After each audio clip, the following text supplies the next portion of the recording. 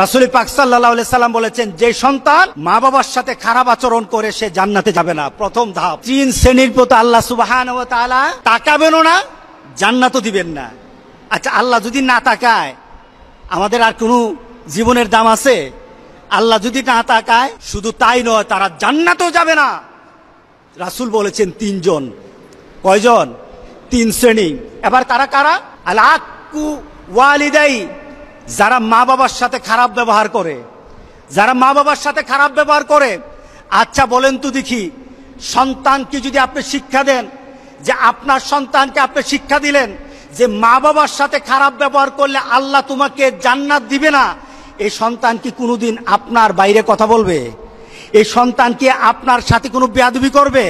এই সন্তান কি অশালীন হবে? দ্বিতীয়, এমন সন্তান, এমন মানুষ এমন মানুষ যখন পুরুষের অনুসারী হয়, পুরুষের অনুসরণকারী হয়, অর্থাৎ পুরুষালী পোশাক যখন মহিলারা পরবে, আজকে আছে কিনা বলেন?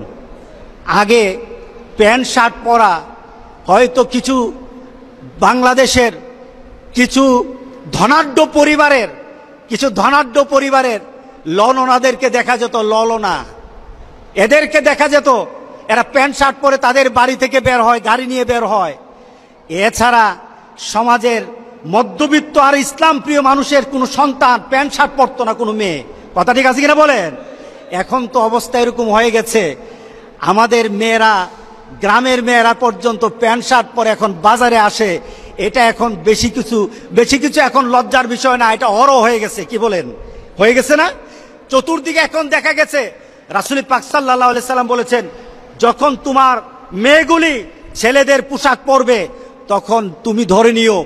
তুমি ধরে নিও, তার জন্য আল্লাহ সুবাহান ও তালা জান্নাতটা বন্ধ করে দিবেন, আর আল্লাহ তার দিকে তাকাবেন না। কে বলেছেন? মোহাম্মদ রসুল্লাহ সাল্লাহ সাল্লাম। তৃতীয়ত, রাসুল পাক সাল্লাহ সাল্লাম যার কথা বলেছেন, দায়ুস।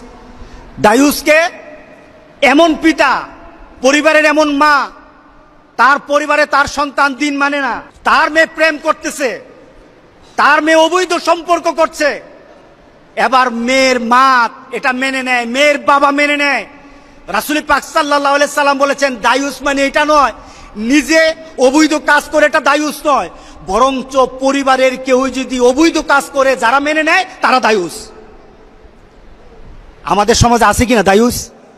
আমাদের পাড়া প্রতিবেশীতে খুললেও দায়ুস পাওয়া যাবে। কথা ঠিক আছে কিনা বলেন? গ্রামে খুঁজলে পাওয়া যাবে।